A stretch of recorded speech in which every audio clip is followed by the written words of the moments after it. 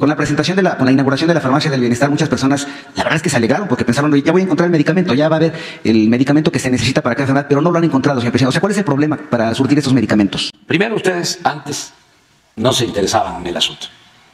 ¿De qué estación de radio? Grupo CIR, señor presidente, Grupo CIR. Grupo CIR siempre ha estado este, subordinado al gobierno en turno, siempre y cuando eh, les dieran publicidad, o sea, les dieran dinero. Ahora, como no hay eh, publicidad, no hay dinero, ya los ACIR, como otras estaciones de radio, se volvieron paladines de la libertad y defensores de la justicia. Esa es eh, la opinión que tengo. Eh, Desde luego yo respeto la opinión de ustedes. En cuanto al derecho a la salud, repito, es un compromiso que tenemos de que cada vez eh, sea mejor, en todo sentido. Y esta semana vamos a informar, porque tenemos más médicos generales, tenemos muchos más especialistas que antes, hay más medicinas que antes. Además, le voy a dar un dato, antes se pagaba la atención médica y las medicinas. Ahora la atención médica es gratuita. Todos los medicamentos se entregan de manera gratuita. Pero era un negocio muy jugoso que tenían unos cuantos. Ustedes no informan sobre la corrupción que había en la compra de los medicamentos. No informan que 10 empresas le vendían al gobierno 100 mil millones de pesos en medicinas. Y ni siquiera eran laboratorios, sino eran influyentes, gente cercana al gobierno, políticos, y repartían hasta los medios de información. Por eso es la inconformidad. Entonces tú me traes ese fragmento de alguien que dice, este, no me han eh, abastecido, no me han entregado mi medicamento, pues puede ser.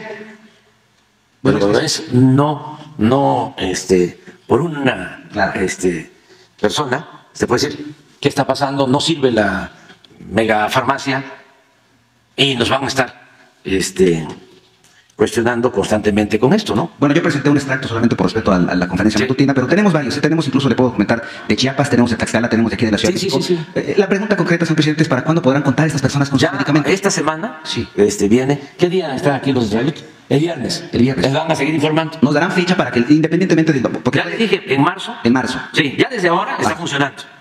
Muy bien la farmacia. Ya tenemos abasto en eh, 23 estados, como nunca. Tenemos un promedio de más de 95% de abasto en farmacias de centros de salud y de hospitales. Y en la mega farmacia, que es complementaria, también están todos los medicamentos. Y está funcionando y estamos constantemente pendientes. Pero ¿y entonces estos medicamentos pendientes dentro de la megafarmacia? Es que mm, tendríamos que revisarlo porque este, a los dueños de Asir eh, no les creo. O sea, a ti te respeto, pero los dueños de Asir son empresarios que eh, han hecho dinero al amparo del poder público. Entonces, como ahora no hay esa publicidad, ese dinero, eh, los tenemos en contra. Son nuestros adversarios. Bueno, entonces... Eh, pero no solo así, ¿eh? es Radio Fórmula. O sea, Radio Fórmula es completo. Y, ¿cómo se llama la otra cadena de radio? W, la otra cadena, donde, donde, donde está este. de, de Olegario. Imagen. Sí, todos, todos esos. Porque recibían muchísimo dinero.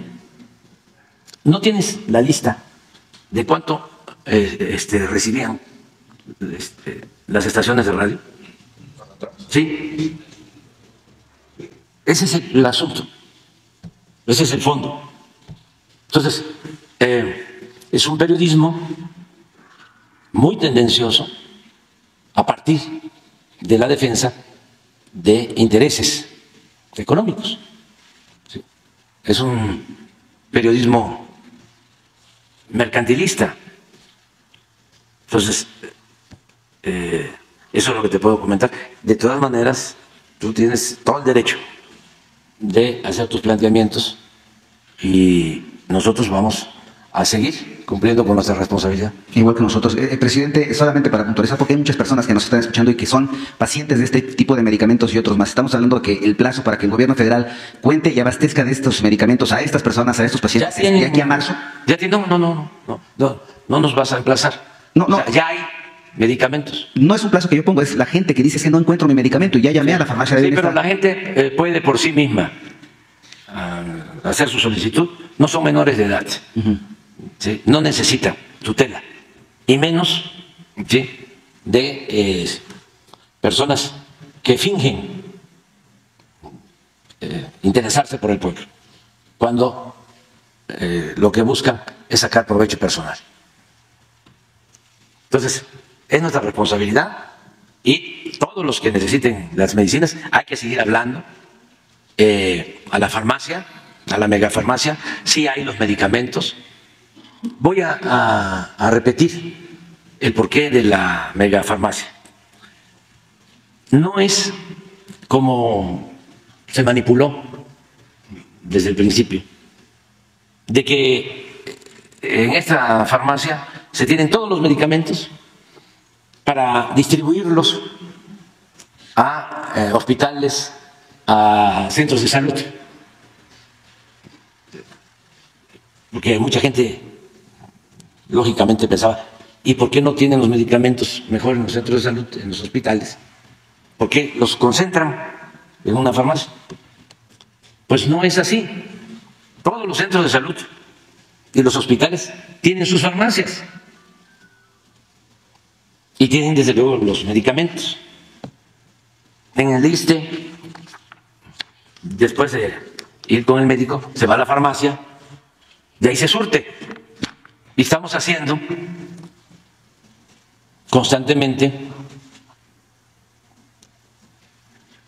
una eh, consulta, una encuesta a la gente si se le surtieron todos los medicamentos. En el caso de que no haya un medicamento en un centro de salud, en un hospital, con esa receta el paciente habla o el médico a la farmacia, a la mega farmacia, donde hay todo. En tres días, ese medicamento tiene que llegar. Se está planteando máximo 48 horas.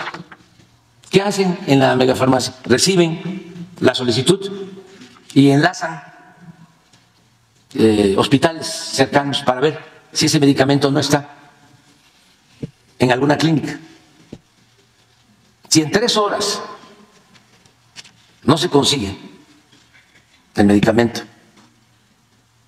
en una clínica cercana, se envía desde la farmacia hasta el lugar más apartado, por tierra o avión. Ese es el sistema. Cuando le pregunté al general Lomas, que es el responsable, digo, ¿cómo estamos en llamadas? Le entregó un reporte.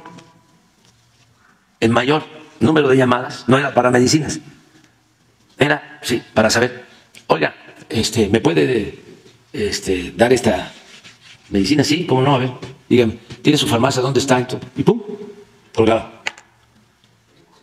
Un porcentaje importante. Mañana voy a pedir, digo, el viernes, que traigan la estadística. ¿Niega entonces que falten medicamentos en la fa- megafarmacia? Sí, niego, Ok. niego.